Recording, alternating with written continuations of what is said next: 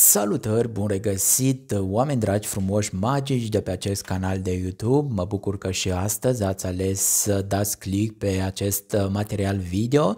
În minutele următoare vă propun un nou ritual foarte puternic de magie albă. Acest ritual poate fi practicat mai ales atunci când simțim că experimentăm în viața noastră, în destinul nostru, lipsa abundenței, simțim că avem blocaje pe partea financiară, parcă nu ne mai ajung banii, ceva uh, simțim că se întâmplă și cu acest ritual ne putem debloca de acele obstacole energetice, barieri, uh, să ajungă abundența, prosperitatea în toate formele în viața noastră.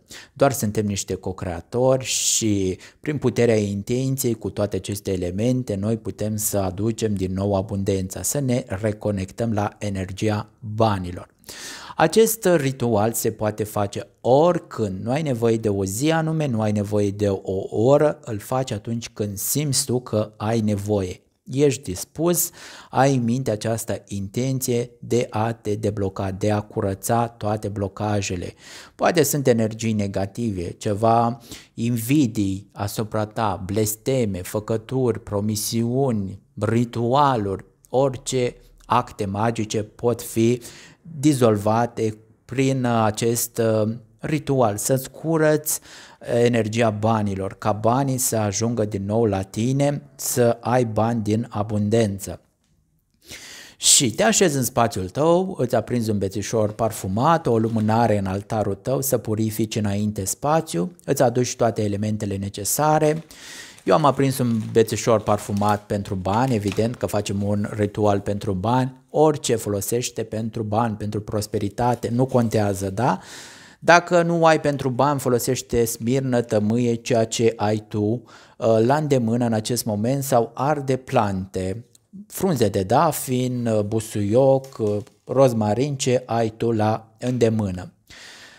Îți așezi o farfurie albă, mai adâncă să fie, pentru că în această farfurie vom introduce toate elementele necesare, o să vezi despre ce este vorba. Îți mai așezi trei lumânărele de tip pastilă, albe, uh, în forma unui triunghi. Orice punem noi în triunghi este amplificat.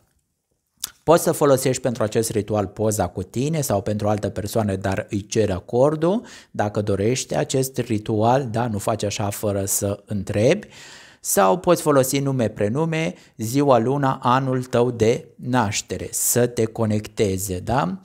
Mai ai nevoie de o bucățică de scorțișoară, scorțișoară întreagă, da, nu pulbere pentru acest ritual, șapte frunze de dafin pentru cele șapte zile să fim plini de succes, șapte monede spălate în prealabil cu apă și sare, să fie deprogramate, să fie uh, scoase toate informațiile de la alte persoane, deoarece banul circulă uh, de la unul la altul, da? și șapte căței de usturoi. Usturoiul este pentru a Uh, înlătura blocajele, farmecele, ritualurile, promisiunile, orice este blocat, orice jurăminte se pot înlătura uh, prin puterea intenției și cu aceste elemente și sarea de asemenea vom folosi un pic de sare pentru a curăța energia banilor, da? să ne deblocăm. Ne așezăm în spațiul nostru, ne-am adus toate elementele necesare, acum vom începe acest ritual.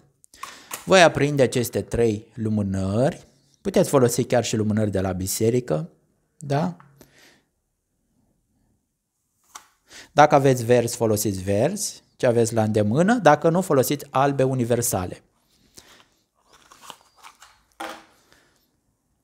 Acum vom folosi și puțină apă, am uitat să spun. Apa ar fi bine să fie cumpărată sau de la un izvor, fântână, să fie o apă proaspătă, o apă vie, deoarece apa de la robinet nu prea este așa bună pentru ritualuri.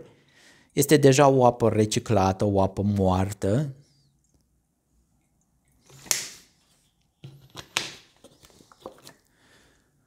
Ne-am aprins lumânările noastre în forma unui triunghi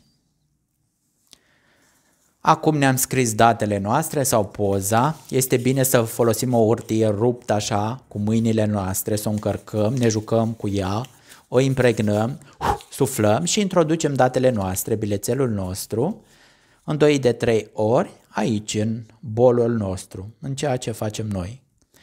Acum, vom introduce monedele noastre, cele șapte pentru cele șapte zile ale săptămânii. Cum am spus, nu contează valoarea lor, sunt simbolice. Acum căței de usturoi, șapte căței, să avem protecție, să fim deblocați și șapte frunze de dafin.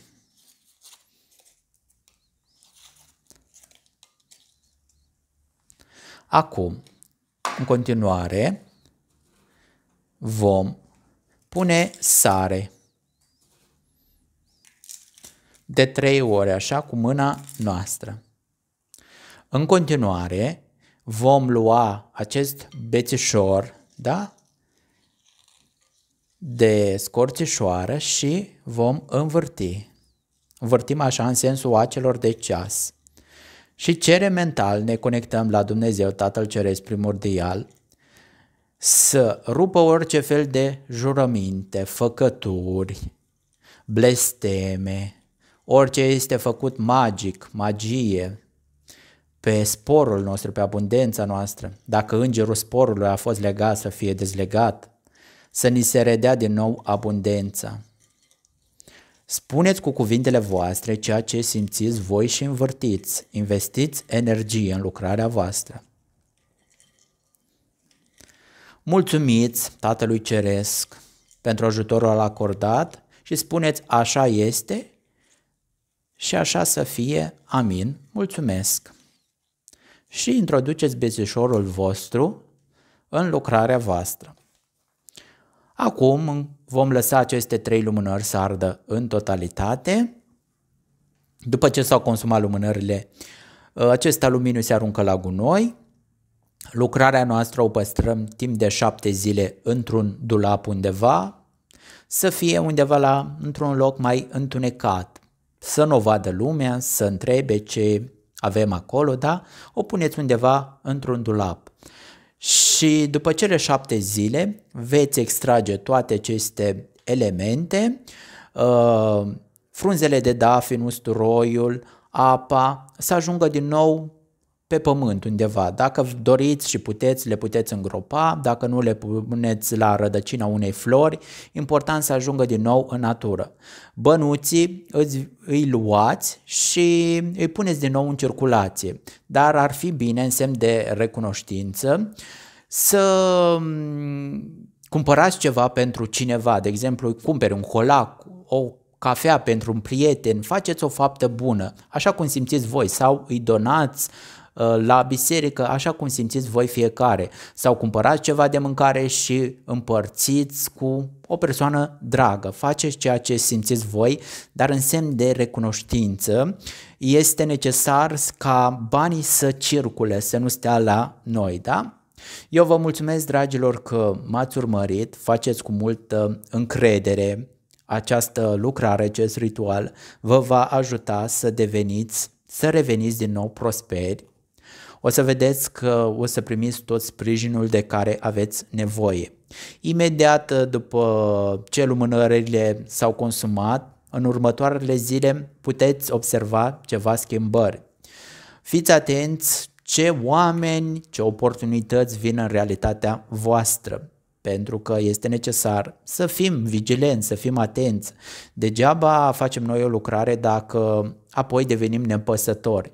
Să vedem ce ne trimite Universul. Noi aici suntem interconectați.